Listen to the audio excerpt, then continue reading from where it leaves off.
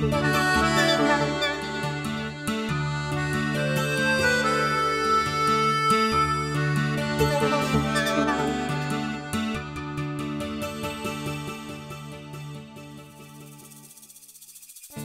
Moyen Âge. Première partie. Quand l'Empire romain devient chrétien, il est en crise depuis longtemps. Lorsqu'un empereur meurt, des guerres éclatent entre les prétendants à la succession. Les villes sont détruites, les campagnes dévastées. Les citoyens et les paysans cherchent la protection des riches, qui payent des milices privées.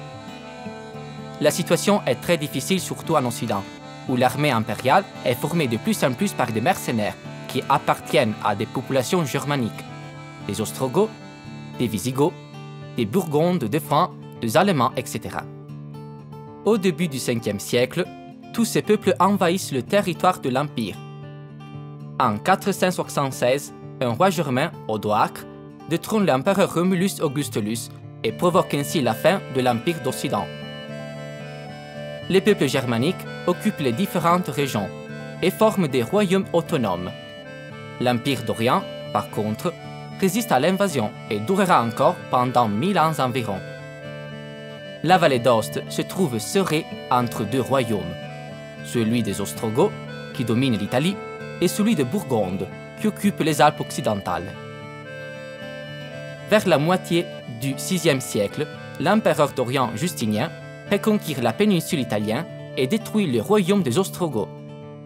Mais un autre peuple germanique, les Lombards, occupe l'Italie du Nord en 568 et attaque, en passant par le Grand Saint-Bernard, le royaume de Francs, qui ont à leur tour battu les Bourgondes et occupé les régions alpines. À la fin de cette tragique période de guerre, la vallée d'Ost, dépeuplée et ruinée économiquement, est enfin annexée au royaume de Francs à partir de 575. Nous ne savons pas grand-chose de ce qui se passe dans la région à cette époque, faute de documents. Ce qui est sûr, c'est que l'école conserve leur importance, car les chroniques enregistrent le passage de rois, de papes, de saints et d'armées par le petit et surtout par le grand Saint Bernard.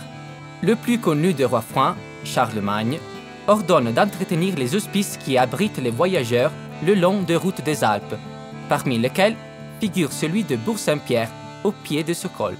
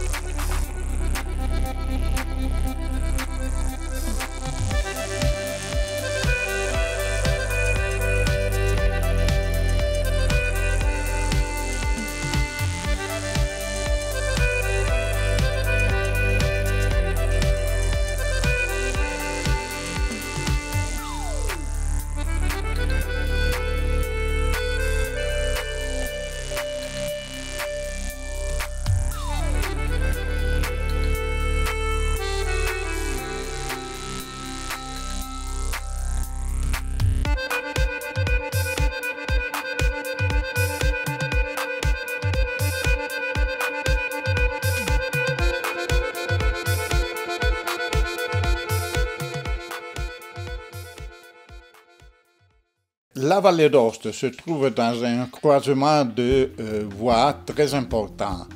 En effet, il y a euh, deux routes qui atteignent deux cols très importants, le col du Grand et du Petit Saint-Bernard. À travers ces deux cols, on arrive, c'est vrai, dans la vallée du Rhône, mais dans des directions différentes. À travers le col du Grand Saint-Bernard, on peut arriver au nord de l'Europe. Et à travers le col du Petit Saint-Bernard, on peut poursuivre vers l'ouest euh, en atteignant par exemple les lieux euh, situés du côté de Saint-Jacques de Compostelle. En effet, l'une des grandes caractéristique des routes qui traversent le Val d'Ost au Moyen Âge, c'est qu'elles sont parcourues par des marchands d'un côté et des pèlerins de l'autre. Des pèlerins qui se rendent aux grandes étapes du pèlerinage, par exemple vers Rome d'un côté. Et même ils peuvent poursuivre plus loin pour atteindre Jérusalem. Évidemment, tout au long de ces routes, il fallait aider de quelque façon les pèlerins qui passaient. Les pèlerins, en effet, généralement parcouraient les routes sans avoir avec eux d'argent. Donc, à un moment donné, on a commencé à penser de les aider. Et on a créé des hôpitaux, non pas des hôpitaux pour les malades, mais des, lieux pour accueillir ces euh, gens qui marchaient pour la foi. On a commencé à construire avant le l'hôpital du Grand Saint-Bernard, qui était considéré à l'époque l'un des trois piliers euh, avec l'hôpital de Jérusalem et celui qui se trouvait à côté euh, de Saint-Jacques de Compostelle, les trois piliers pour aider les pèlerins. Puis, on va réaliser l'hôpital du Petit Saint-Bernard et par la suite un peu dans toutes les paroisses de la vallée principale de la Doire ou des deux vallées qui euh, portent au col, on va créer des hôpitaux plus ou moins grands. Il y a des hôpitaux avec deux, trois places et il y en a de plus grands comme celui de Villeneuve qui arrive à une dizaine de places de pèlerins. Là, on donnait euh, à ces gens qui marchaient longtemps pour la foi quelque chose à manger. Euh, on devait leur donner du pain, du vin, un lit et le feu, évidemment, en hiver. Et donc, c'était une sorte d'aide à tous ceux qui eh, parcouraient les routes suivant leur foi. À côté, comme je vous disais, il y avait les marchands. Les marchands n'avaient pas besoin de recourir à ces aides qu'on avait introduites. Mais eh, il recourait aux auberges qui étaient assez nombreux, surtout du côté de la vallée du Grand Saint-Bernard, où il y avait même pour les marchands un aide particulier qu'on appelait la voirie, c'est-à-dire il y avait la possibilité d'aider ces marchands avec un transport de la ville d'Ost jusqu'au sommet du Grand Saint-Bernard avec des mulets ou même en portant euh, directement les denrées euh, à travers des hommes qui se chargeaient ces euh, ballots directement et les apportaient vers le col.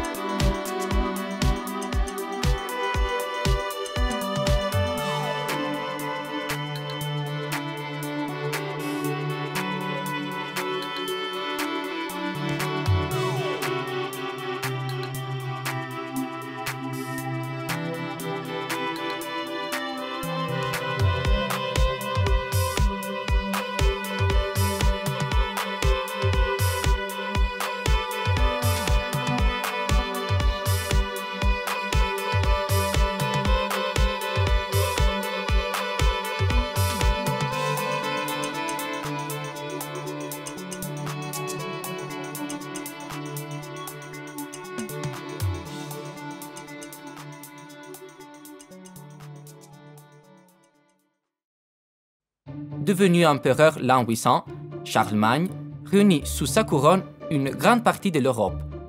Mais ses successeurs n'arrivent pas à maintenir l'unité de cet empire, qui se divise en plusieurs royaumes. L'an 888, la vallée d'Ost est englobée dans celui de Bourgogne, qui comprend aussi la Savoie, la Suisse romande et le Dauphiné actuel. Les peuples de ces royaumes parlent des dialectes différents, qui se transformeront plus tard dans les langues nationales que nous connaissons aujourd'hui. Les habitants du royaume de Bourgogne parlent des dialectes que nous appelons aujourd'hui franco-provençaux. Mais contrairement à ce qui se passera par exemple en France et en Allemagne, ces langages ne donneront pas naissance à une langue unitaire, car ce royaume est faible. Il ne durera pas longtemps, et une nation bourguignon n'aura pas le temps de se former. Son territoire est en grande partie montagneux, et les communications sont difficiles, surtout en hiver. Les rois ont de grandes difficultés à contrôler les différentes régions, et le pouvoir réel est géré par les comtes, les évêques et les grandes abeilles, qui dominent localement la population et la défendent contre de nouveaux envahisseurs qui font des incursions à la fin du 9e et pendant le 10e siècle. Les Vikings, les Hongrois et les Sarrasins. Ces derniers, qui s'installent dans les Alpes et notamment au Grand Saint-Bernard, volent, capturent ou tuent les voyageurs qui passent par l'école. Lorsque le roi Rodolphe III meurt en 1032 sans héritier direct, le royaume se fragmente en une pluralité de comtés indépendants, même si le titre de roi de Bourgogne passe formellement son neveu, l'empereur Conrad II, qui porte aussi ceux de roi de Germanie et d'Italie. Dans l'Empire romain, tout le monde parlait le latin, qui était la langue commune aux différentes régions de l'Empire. Le latin s'était euh, superposé à d'autres langues qu'on parlait avant la conquête romaine, et par conséquent, chaque peuple parlait le latin d'une façon un peu différente par rapport à l'autre. Le latin qu'on parlait en Égypte n'était sûrement pas le même qu'on parlait en Gaule ou en Italie. Euh, pendant le Moyen Âge, avec l'arrivée des peuples germaniques, cette situation se compliqua ultérieurement parce que chaque peuple germanique portait euh, son patrimoine linguistique qui se superposait au latin parlé dans la région que la tribu germanique occupait. Dans notre région, en Gaule et en Italie, euh, il, y a, eu euh, en particulier euh, des Ostrogoths qui ont occupé l'Italie, les Francs qui ont occupé la Gaule du Nord, l'actuelle France du Nord, les Visigoths qui avaient occupé la, la, Gaule du Sud, et dans notre région, c'est-à-dire en Savoie, dans la Suisse romande et peut-être aussi en Vallée d'Ost, les Burgondes ces trois peuples, les Burgondes, les Francs et les Visigoths, parlaient des langues germaniques différentes et dans les régions où ils se sont établis, on parlait déjà un latin différent. Euh, c'est à partir de ces langues-là, c'est-à-dire la, langue germanique des Francs mm, mêlée au latin qu'on parlait dans le nord de la France, qu'est née la langue d'Oïl, tandis qu'au sud, chez les Visigoths, est née la langue d'Oc.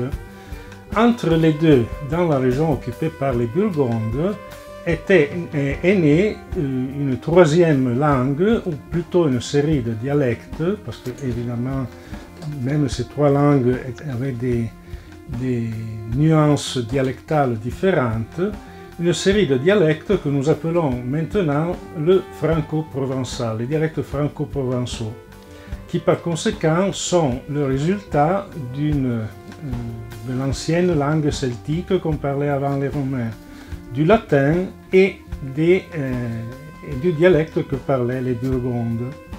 À partir de ce mélange entre la langue celtique, le latin et les langues germaniques, en particulier dans notre région, la langue parlée par les Burgondes, se sont formés les dialectes que nous parlons actuellement. Évidemment, ce n'est pas exactement le même dialecte que parlaient nos ancêtres, parce que les langues euh, se développent et euh, de façon, euh, dans le temps de façon différente. le problème, c'est que tandis que dans le nord s'était formé un État fort, celui des Francs, qui à la suite a englobé aussi le, royaume des Visigoths et le royaume de, de Burgonde, on a, euh, disons que la langue des Francs, qui a donné l'origine française, a eu le dessus sur les autres, et c'est la raison pour laquelle en Vallée d'Ost on parle un dialecte franco-provençal qui dérive de des dialectes burgondes, mais qu'on a utilisé à partir du XIe, XIIe siècle comme langue commune de grande communication, la langue française. Et nous avons des documents en français écrits en Vallée d'Ost à partir du XIIe, XIIIe, XIVe siècle.